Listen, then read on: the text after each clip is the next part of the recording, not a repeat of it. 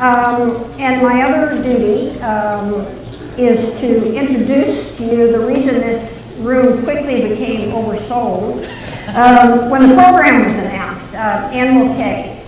Um, now, Anne can talk about almost any subject having to do with Fortune 500 corporations and their equivalent in the nonprofit world and the role of women within these organizations. But she has also played about every boardroom role there is. I'm going to interrupt you myself to tell you that um, uh, she, she's no longer on the board of Catalyst. She was on the Citigroup board, but is not now. Uh, we don't say that. Instead, her boards are Target, Washington Post, and Johnson and Johnson, and she's head of Save the Children. She was actually captured. I know many of you wonder how this happens, but she was captured by the super board sleuths at Target when she was just a marketing executive. Uh, she'll tell you a little bit about that, I hope. And that was well before she became Xerox's CEO in 2000, stepping then into the top of a company that hordes of people thought was headed for bankruptcy. Fortune itself made Xerox a prominent example in a 2001 story, Why Companies Fail. And it was soon after that that Anne's name turned up for the first of many times in Fortune when she reacted to that story by sending Fortune a protesting letter, which we printed. It, it said we were premature grave diggers and we should just wait and watch Xerox succeed.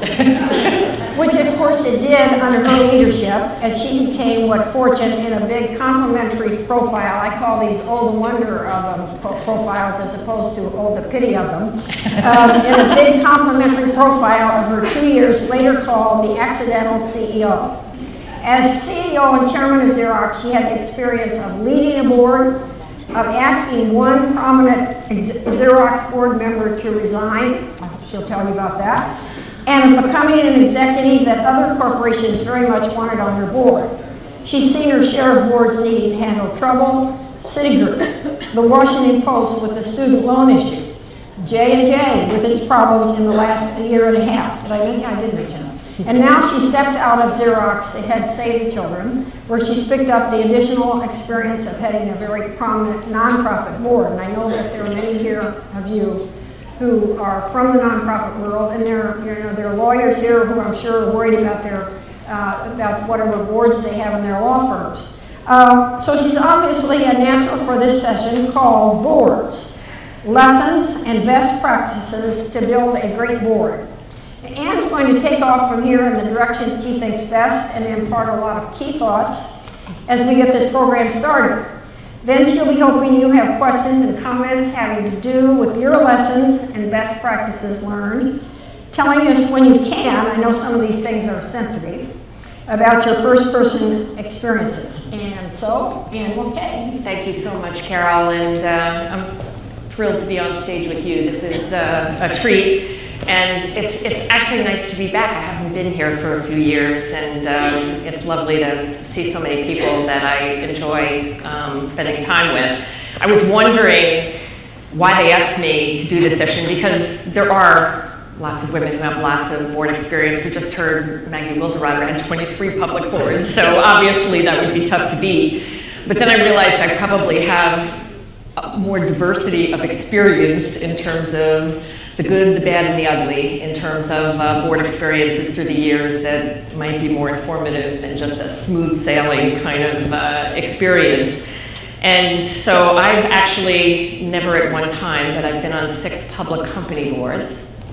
Um, I've been on three nonprofit boards, um, um, but particularly now, near and dear to my heart, I chair, chair the board of uh, Save the Children.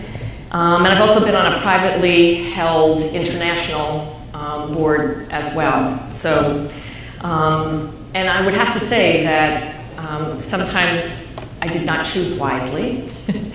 and um, you wind up uh, kind of learning how important it is on both sides, not just to, when you are in a position to make a decision about being on a board, equally important as you staff and work with your board to staff your own board. Uh, they are tough mistakes to rectify, and uh, that's something that I, I, learned the hard way. So um, I'll begin and talk for a few minutes just about some observations and hopefully provoke some thinking in the room so that you then, uh, it'll be much more interesting when you're participating. But I, I think my first lesson learned was to do your homework. And I actually don't mean reading um, 10Ks and, and business information because the really important part of doing your homework is understanding the caliber of the CEO and the management team. Um, because at the end of the day, um, you are placing your bets and your trust in a management team and a culture that actually will be the most vital and important thing about how you can contribute, how you're valued on a board, and what kind of um, culture that board creates as well.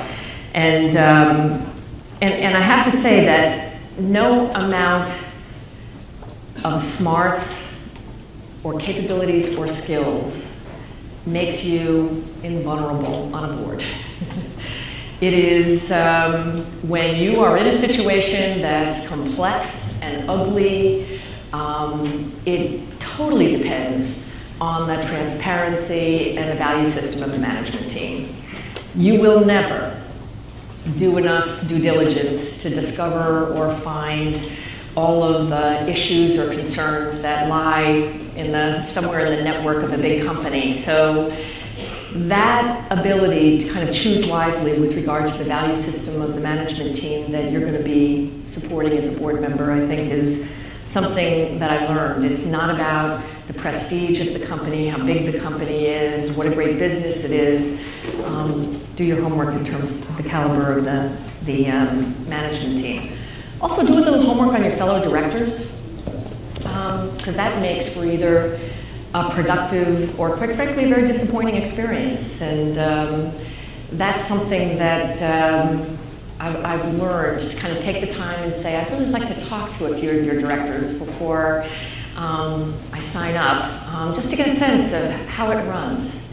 Is this um, a board that operates in a way that's consistent with how I would feel I could make an impact um, in a company? And I think, you know, is it a club that I want to be a member of? Um, and sometimes, particularly I think when you're entertaining your first board, that desire to jump in and take that board experience can really be a barrier for future board experiences if not thought through wisely.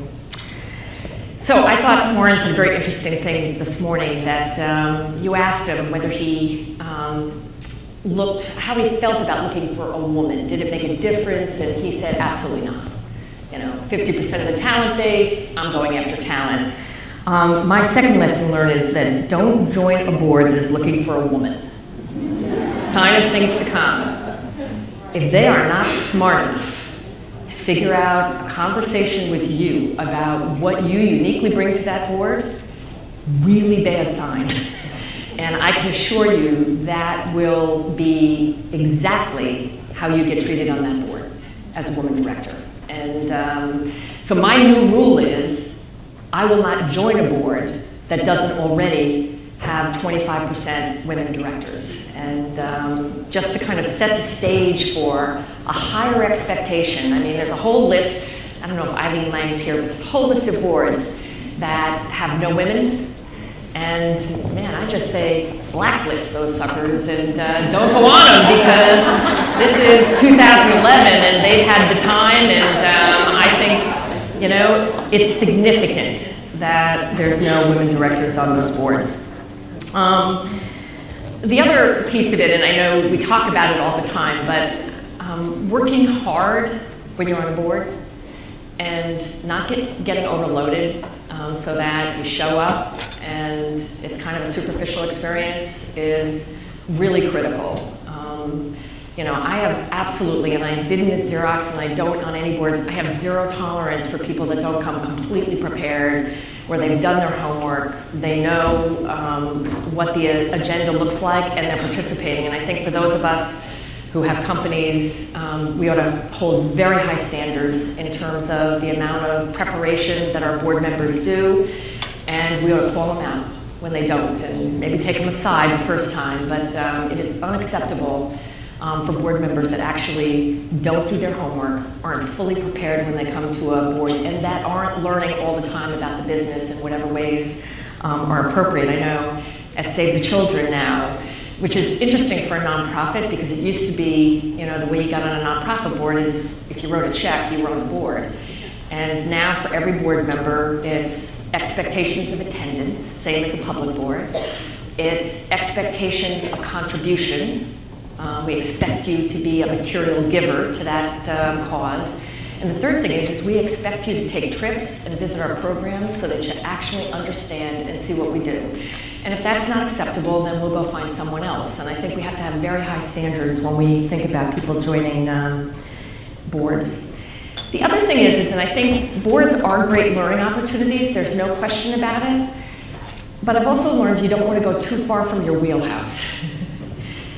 that it is important to actually have some sense of the business model, to bring a set of skills that somehow are relevant um, to the business. And that doesn't mean you have to stay in an industry or, but I do think that you have to have a really good, accurate assessment of what you bring to the table. And don't get so far outside it that it's really difficult for you to make an impact and actually you know, be a valued contributor um, on that board. So the best board experiences I, have had um, are the ones that where there's chemistry and respect among the CEO and the board members. And it's kind of gotten a bad name. It almost sounds like if boards get along that they're in the CEO's back pocket. And I think that's really a shame because good chemistry on a board, I think, is hugely important. We don't pay a lot of time thinking about it, but um, you know, boards are a team. And I think as a team, their contribution is incredibly enhanced if they know each other, they respect each other, and that's not about having, you know, same views or agreeing on things, but they actually get to debate in respectful ways and to, you know, put diverse opinions on the table without disenfranchising or alienating people, including the management team, which I have seen happen on boards, and I think it's a really unfortunate outcome that and I'll talk a little bit about that, um, about board members that feel that the way they demonstrate their contribution is by showing how smart they are. And always having, and for those of us that sit on boards, I think we know who they are. They always have to say something. And, you know, they disagree sometimes for the sake of disagreeing to show that they're not just rubber stamping. And I have to tell you, it's really irritating as a CEO. Um, and I kind of put them in the category of there's board members who um, really create value, and then there's board members that create work. And um, those that just, you know, cannot differentiate between when there's really a meaningful time for a contribution and having to hear themselves heard are definitely um, in the create work category. Um, and I think something that's become really important lately is this boundary between knowing the responsibilities of being on a board and what management does. And, um, you know, I, I, I take it as one of my charters in all the boards that I'm on is to kind of um, hold people accountable when they get into the weeds and they're in management's territory. Um, sometimes that's hard for a CEO to say without, you know, appearing to, you know, be disrespectful to the board member. It's easier, easier for another board member to say, I'm just not sure that that's our job. And um, I think it's really important that we kind of hold each other accountable on boards um, for recognizing and respecting the line of where the board member contribution is and when kind of you're interfering uh, with management. You know, board members get tested at the worst possible times. It's really easy to be a board member when things are going smoothly, I have to say. It's, um, you know, but it is during a crisis period of time that board members really undergo, I think, the acid test of what kind of contributor they are. And, um, you know, one of the things that when I first became CEO of Xerox, within six months, three board members resigned. And, um, it was kind of uh, a, a, huge statement. It was right when you had to you know, publicly disclose board member resignation, so it wasn't exactly a act of faith that we had uh, people kind of jumping ship off the board. And, and, and Carol, it'd be interesting to hear your views on this, but I, I see article after article written disparaging the board members that stay on troubled companies, and you know, how dare they, they got the place into trouble. And my view is, this is the time where they gotta roll up their sleeves and get the damn companies out of trouble. And that's when board members should actually take responsibility. It's a reputational impact, obviously, being on a, a, a troubled company's board. But they know the place, they've been collecting checks for years. This is the time, it's payback time. This is when you need board members that actually have courage and are not about what does it mean to me to be a member of a Xerox board that was going through an SEC investigation and you know, quick story, we had three board members who jumped ship and left. And we had some stellar board members that stayed, that should have been the ones that were more worried about their reputation, but I'll, I'll mention a couple. And one of them was Ralph Larson on the Johnson & Johnson board, who stayed and was battered um, during that period of time, but rolled up his sleeves and felt this huge accountability to actually help solve some of the problems that had happened during ten, his tenure on the board. The other one was John Pepper at P&G. John Pepper probably had the most stellar reputation of any CEO in corporate America, along with Ralph Larson. And when I was having to go down and visit the SEC, this would have been the Criminal Enforcement Division. Um, John Pepper came with me um, each and every time, four different times, to visit with the head of enforcement to try to settle the, uh, the SEC uh, you know, suit that, that Xerox was undergoing. And you know, at the time, I'm not sure I even appreciated what an extraordinary risk it was for him, what courage it showed. Um, but those are the kind of board members you want. You want the people that step out in times of trouble and actually feel this tremendous sense of accountability to put some skin in the game and, uh, and get companies back into shape. And uh, for those that write about, you know, board members stepping down, and I lived through this actually at Citigroup, where the board was, you know, basically told, the, the chairman of the board was told to turn over um, a minimum of 60% of the board within three months to get, you know, to indicate that, you know, the board had failed and we wanted now financial experts on the board. And I can assure you that they did Citigroup no favors um, with that particular uh, action. So, um, yeah, I think your mettle gets tested during times of stress, and it really demonstrates that the number one quality I look for um, in board members is courage, and sometimes short uh, in supply. Um, I also think that you know one of the things that we have to think about on our boards is you know how much time we spend on compliance and governance versus strategy and operations, and challenge and hold uh, our companies accountable for really ensuring that we are not over responding um, to what I call the compliance environment or the risk management environment, which has become synonymous with not taking risks versus taking risks. So um, I think we all have to play that role of really challenging um, these companies to make sure that we're really talking about the things that matter um, and make a difference. Um, you know when you see it, when you see a great board. And um, I do want to spend a minute on Target. I love all the boards I'm on right now, and I'm at various stages of knowing them, but I've been on the Target board for 13 years. Um, They've never used a search company to find a director. And no offense taken to my director colleagues out there, but they do their homework and they actually go out because they don't want a lot of the usual suspects. And I think search firms are doing a much better job now, but years ago it was the big names, it was the cycling of the same usual suspects for boards.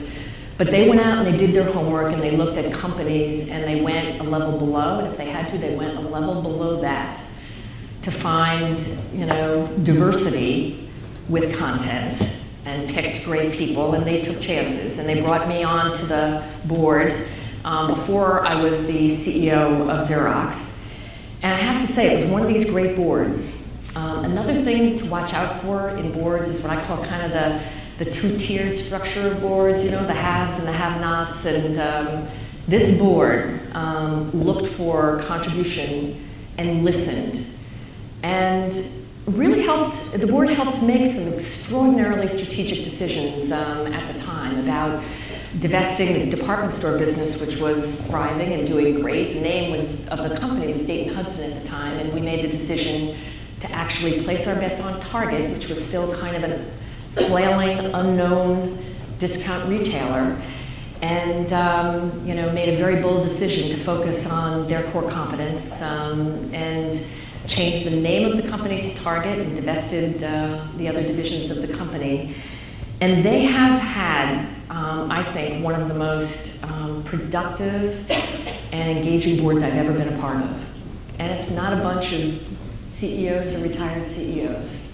As a matter of fact, they would be the minority of the people on the Target board. Um, it is an incredibly diverse set of perspectives across the board, but they do their homework and they bring people onto that board that they think have courage, have skill sets that they think can make a contribution, and they take their responsibility to their consumer base really seriously. Long before it was in vogue, their primary consumer were women, and they had 60% women directors before they had to. And I think I challenge any retailer to, um, to really look and, and, say that they got that as early on as Target. Um, and, you know, even in, and this is during tough times, um, you know, and Target just came through a difficult period of time where during the recession, um, price was everything. Walmart started to come up uh, the curve again from a price perspective, and um, you know, uh, Target, kind of shabby chic, was not looking quite as good as it was uh, perhaps in 2007. And we had um, literally a day's discussion on it and said, this is a company that has to stick to its knitting. Its whole deal is differentiation. And um, the whole thing has been not trying to look like someone else. And they stayed the course, and I'm convinced that it has served them well. But they take, I think, the most important and strategic issues and they actually work them. They lead the discussion. They have strong views, but um, it is probably the most satisfying um, board I've ever been involved in. They also had great succession planning. So I've been through two CEOs, and I happen to think great succession planning doesn't happen very often. And um, we went seamlessly from a great 10 year CEO to a developed internal candidate who's world class and who is leading Target today. So I'm going to switch just for a minute, talk a little bit about nonprofit boards, and, um, and then I'd love to hear what's on your mind. Um, so, not that different. And I think it's really important that we don't think about nonprofit boards differently, and I hope that so many of you in this room consider having an experience on a nonprofit board. I think this, this model of profit nonprofit partnerships is extraordinarily important. I think it's going to get even more important as we can't depend on governments to solve huge problems that you know this really will be the model for so many of the world's biggest issues and having great you know business people on nonprofit boards is really important they're mission driven organizations but they need to be held to the same standards whether it's standards of participation or understanding the business and um, I'm lucky enough to have uh, a couple of SAVE directors here. Charlotte's here, and I don't know whether Sue Decker's in the room, but um, and actually more to come. We're bringing on at least two more directors that are at this meeting onto the Save Children board. But we have about 32 directors, and we had a Save the Children board meeting, and we had 31 out of 32 directors attend our Save the Children board meeting, and that's because it's expected. They participate and they contribute. And we have, a, I think we have to think about a new model for nonprofits boards in terms of how we hold them accountable for the incredibly important work they do. I mean, if there's reputation is almost even more important in that segment than it is any place else. So really understanding what they do and what those risks are, and I think risk management is incredibly important um, on a nonprofit board. So um, I hope that for many of you that aren't on boards and are anxious to have a board experience, that you'll actually consider um, nonprofit boards. I'm sure, before I stop, that some of you are wondering, you know, how do I how do I make that break into getting on boards? And um, I was thinking about it um, in Warren's session and then when um, Denise and Maggie were talking as well. What could we all walk away with to kind of help um, really get some, you know, ignite, if you will, um, the candidates, the, the women candidates for boards. And here we sit in this talented group of women, right, that are participating in this meeting. So, number one, this is a place where we should be networking and asking each other. Okay, some of us are running companies, some of us are in significant positions. We should be looking around, we should be looking for candidates. But I said to Carol, I think the one thing that I'm going to walk away with is I'm going to take this book and I'm actually going to, Carol suggested this, put a sticky here that says this is the candidate list for women directors. And we're going to share it. So, I seriously mean it. We ought to take this book and we ought to get it out there and say, you're looking for great directors, not great women directors, great directors. Here are a list of the most extraordinary women in business. Let's get it out there. Let's send it to all of our colleagues, male CEOs, companies that we are associated with, and let's kind of look at an approach of let's get these names out there and, um, and work this audience so that we can actually have as an outcome a lot more women in this room being considered for boards. So I'm going to stop there and open it up. Well, Thank that you. was just wonderful, Anna.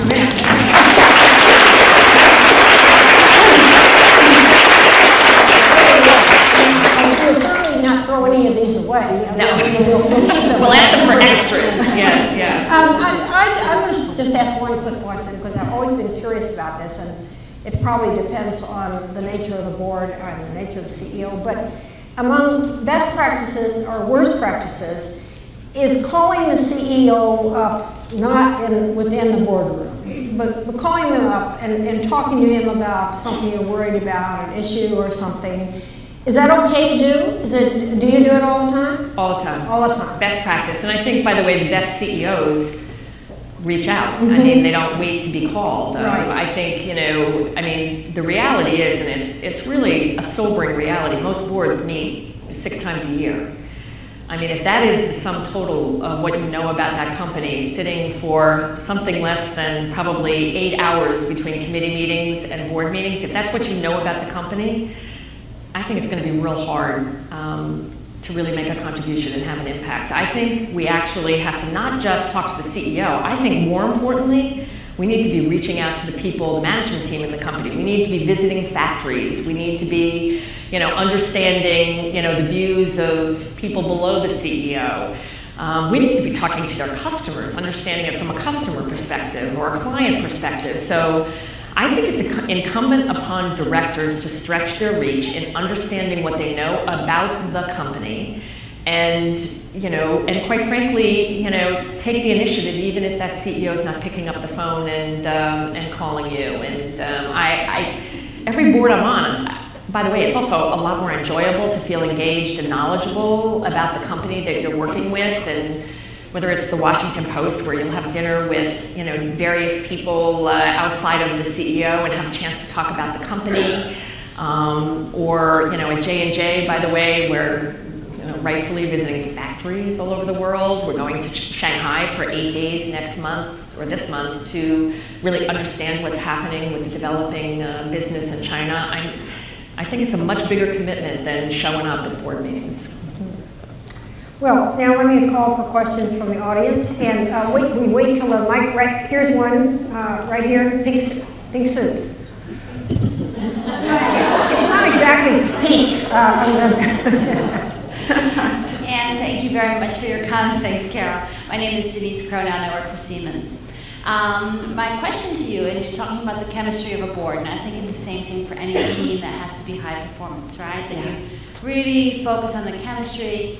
Who do you think is responsible in creating that energy? If you say you join a board and you see that it's actually a dysfunctional Right. board, is it the chairman's? Is it the CEO? Is it, could it be two or three directors kind of banding together saying we need a happier place here?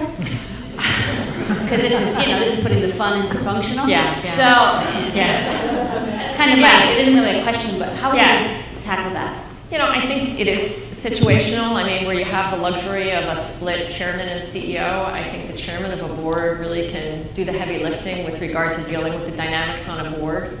And that, I mean, whether it's a lead director or chairman or whatever it is, um, you know, you need that person to have the chutzpah to take on, you know, the interaction issues on the board so that it's, it's a functioning board and you don't have, you know, people who are, you know, monopolizing boards or creating issues where there aren't issues, or quite frankly, being disrespectful to management, which I hate. I mean, I find that to be one of the worst characteristics of showing what a great director you are, that you can be disrespectful to management in the room.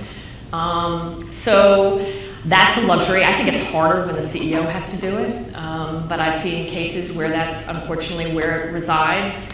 I will say that I saw some of that on the Citigroup board, and um, I actually took the initiative to get together with some directors that I respected and said, unacceptable. I'm willing to make a statement about this in front of the full board. Um, and I'd like, you know, some support um, to indicate that we want this board to be acting differently and engaging management in a constructive and respectful way. And, um, and we took it on, and I think it made a difference. So I think the important thing is, is that we don't let it go. I think it's, it's poisonous when it just continues. It's demoralizing for board members that are uncomfortable with it. And I believe that, you know, whatever position you're in, you've got the right to raise your hand and hold people accountable for behaving responsibly in the boardroom. Back there? Hi, Ann Terry Kelly. Question about how you uh, value the contribution. You mentioned how it's critical to board members. Have you seen some uh, creative ways of how they actually give the feedback back to the members of how they're actually contributing? You know, I I think we've seen it lots of ways. I'm not a huge fee- fan of kind of these formal feedback processes, I have to tell you. I think, you know, good boards know how to give feedback and how to encourage and engage participation. Um, so, uh, you know, I, I think a lot of what we've seen with, um, you know, kind of board feedback and director feedback sometimes is more form than substance. So I'm kind of a big believer that, you know, on the spot, that, you know, this is where it's great to, if a director has a great idea and has made a great contribution, I mean, as a peer to say, fabulous idea, you know, thank you, and, and important for a CEO to say that as well, and let directors know when they're making a contribution. I mean, equally so when, you know, there's not so good contributions that aren't very helpful. Um, they're probably better done aside to begin with, but I do think they have to be shut down in some way. Um, Carol actually referred to, and this is actually more of a, a humorous story than a learning um, opportunity, but um, we did have a board member at Xerox at one point. I will not share um, his name. And, uh, you know, it wasn't working. It was really not good. And it was a complete disconnect on values and it was offensive to me. I mean, you know, there's you can disagree on strategy. There's a whole bunch of great things to disagree with, but don't mess with values. And you know, you know, we were coming through the biggest reputational crisis uh, in our history, and for someone who didn't appreciate, so. I was very naive at the time and decided that I could have a conversation with that board member, just saying, not working out. and you know maybe you'd be a better fit someplace else but um, this isn't a good place for you and i would really appreciate it you know if you kind of took your name out of consideration to be continue your board service with xerox and um, so he quietly did and then um, continued to trash me and Xerox in the marketplace for years after. And it was a horrendous experience. And, you know, I think there were two lessons learned. One is that, um, you know, select your board very carefully and make sure you know what you're getting into. Um, and two, that's what the head of a nominating committee is for, not the CEO. So I think there would have been a, a wiser approach to dealing with it. But I have to tell you, I, I think sometimes boards live with directors who should not be there. And there's got to be a way to not have this be, um, you know, a legacy where board members, you know, stick around for years if they're not making a contribution or they're not, you know, a good fit for the board. There was another question, right, back, same table. Uh, Thanks, Anne. I know one of the hot topics right now in board governance is whether or not to separate the role of chairman and CEO. And I wonder if you might just talk, based on your experience, you know, when you think which is appropriate and if there's any, you know, lessons learned there. Well, you know, I've, um, I've come a long way on this topic. Um, when I was CEO of Xerox and I was made chairman and CEO of Xerox, and I would have to say there wasn't a lot of competition for the job, so it wasn't a big debate at the company. But um, about a year after I was made chairman and CEO, um, Ralph Larsen came to me, um, fabulous CEO, and said, you know, I've thought a lot about it, and um, I think it would be great if we actually brought in an executive chairman for Xerox because you know you would get to focus on all the things that are so important to turning around this company. And you know we could have an executive chairman who really did a lot of the heavy lifting on the board and could act as an interface. And i thought about it for two seconds and said that would have been a really interesting discussion a year ago. But um, you know you don't get to kind of reverse um, that. And i actually believe i would have been well served by having an executive chairman or a non-executive chairman at xerox at that point in time it might have made great sense um, for the right person to have played a role and um, you know had oversight of the company um, but i also think it's situational you know xerox is kind of a um, you know, integrated company. It's not a portfolio of companies. It's a very, you know, integrated culture. Um, you know, it's size-wise not, you know, a huge company. So I think the doability of doing a chairman and CEO role is there. I think in very complex portfolio companies, there's probably more of a rationale for it. So I think it's the makeup of the company. I think it's the profile of the CEO that needs to be taken into account. Um, and I think we need to stay away from these discussions of it's good, it's bad. I mean, I think it is situational, and this is one more example when we decide to be formulaic about something, we do a disservice to the way boards need to consider and think about what the leadership structure of the company should be. That is their job, and they should be able to make a decision that serves its constituencies best. So, you know, I'm just glad that we haven't gotten ourselves to a place that we started to legislate or you know throw that out there as the single solution to leadership structures in companies. But I actually think you're going to see more of it, not less of it, because I do think it makes sense in lots of places, and um, you know it actually can be a real gift to a CEO who needs to be intensely focused on running the operations of a business. Yeah. Here. Oh, I'm sorry, somebody else has the mic. Oh, Yes. okay, back there. I'm sorry, thank you. Hi, I'm Nancy Aossey with the International Medical Corps. We collaborate a lot. with Save Yes, Children. I know Love you do. Save. Thank you. I was curious, um, having been in the not-for-profit sector for about 26 years, I'd love to get your perspective um, in the worlds that you live in about running a not-for-profit and being the CEO of a for-profit, and the perception often that running a not-for-profit is not as perhaps complex uh, or difficult as being a CEO in the private sector. I'd love to get your thoughts on that. Thank you. Well, I can kill that theory really quick. Uh, let me tell you, I, I mean, the complexity of the world of Save the Children trumps the complexity in many ways of Xerox every day of the week. Um, we operate in 120 countries. I mean, there's a humanitarian crisis right now in the Horn of Africa that is probably one of the biggest challenges we've seen in decades.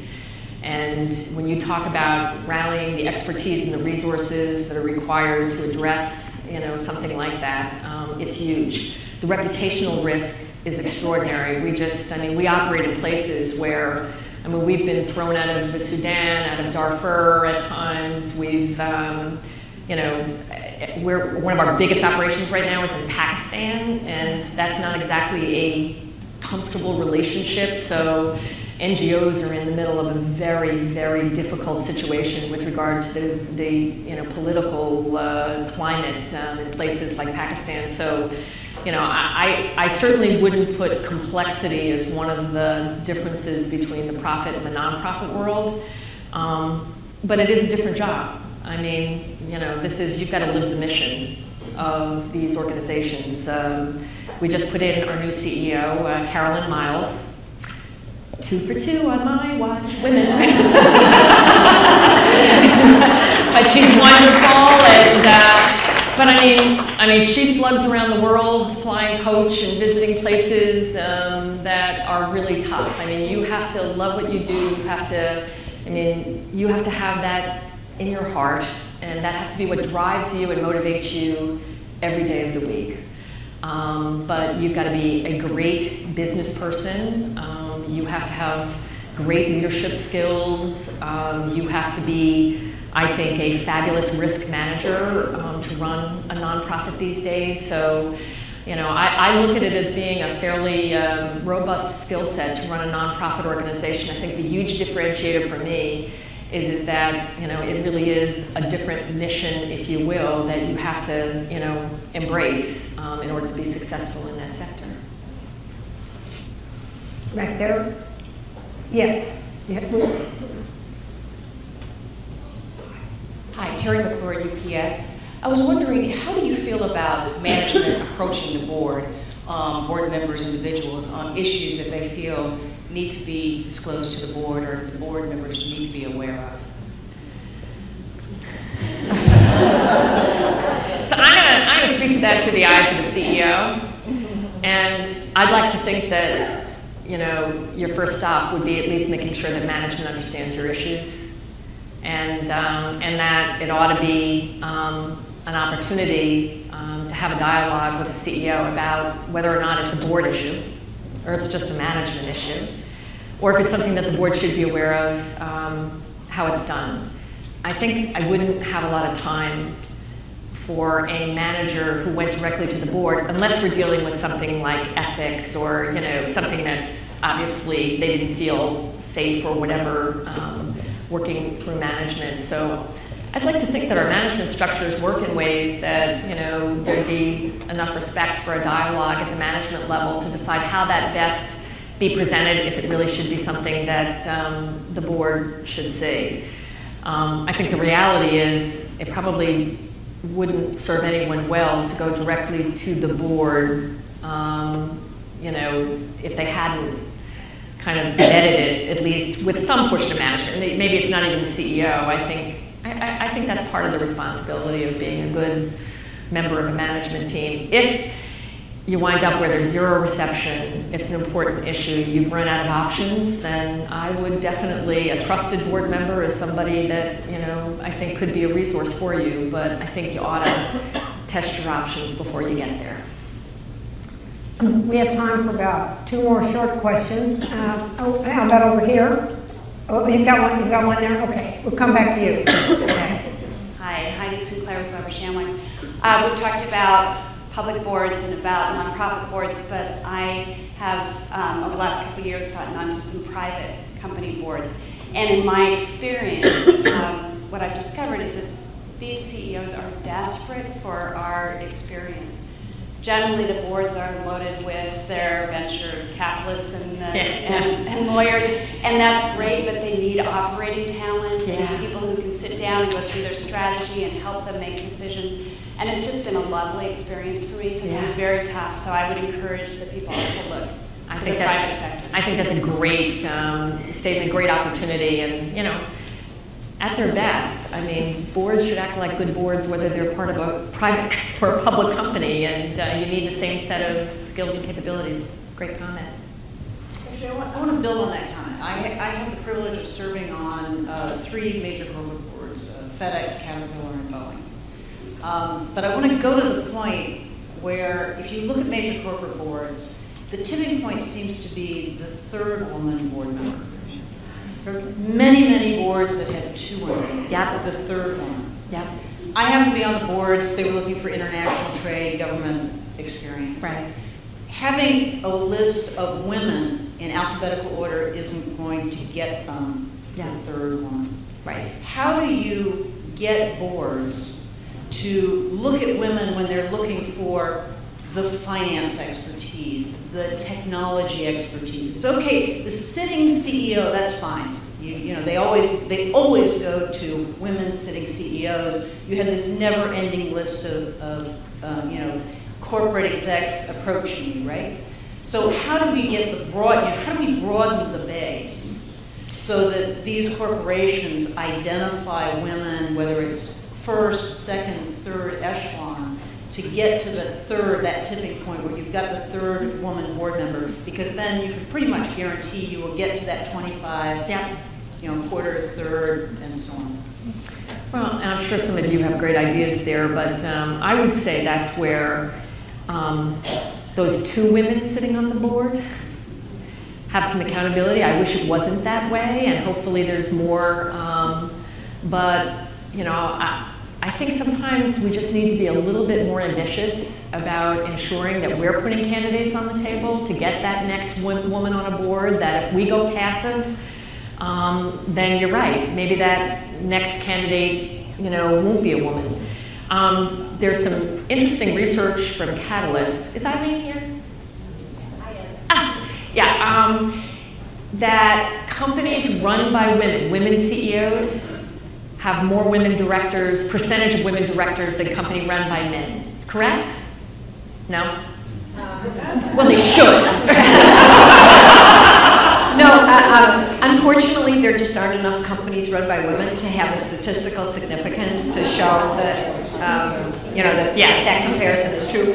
Anecdotally, it looks that way. Yeah, But okay. you kind of can't do the statistical from it. Yes. What we did do uh, research on that um, shows the impact of three or more women on the board. So I think Yes. back to that point about three, um, is first of all, if there are three or more women on the board, uh, the correlation with financial performance is significantly higher. Um, and the other one that we did is that if there are three or more women on the board, and this is cause and effect, uh, not correlation, but five years later, there are more women in senior leadership and in particular in operating roles. Yeah. So that P and L role, the general manager or whatever, that, uh, and, and I've talked to women on boards where there are three or more, and they say, but we never talk about this in the meeting. It's not talking about it necessarily once there are three or more, it's that the, the whole consideration of who is talented when executives and other succession planning is going on just takes on a different complexion and a different tone. And So- it's true, wherever women are, critical mass really does make the difference. And I don't think we should blindly send the book out. I actually think we should tag five or six women that we know that are great and say you ought to be considering these particular women because they're fabulous. So not the generic, but the specific. Um, because I do think that we have this opportunity to be advocates and help change the pace of the progress for women directors, and um, I think that can be done. Well, I'm afraid that has to be the end of it. Um, uh, Anne, it was terrific. Pleasure.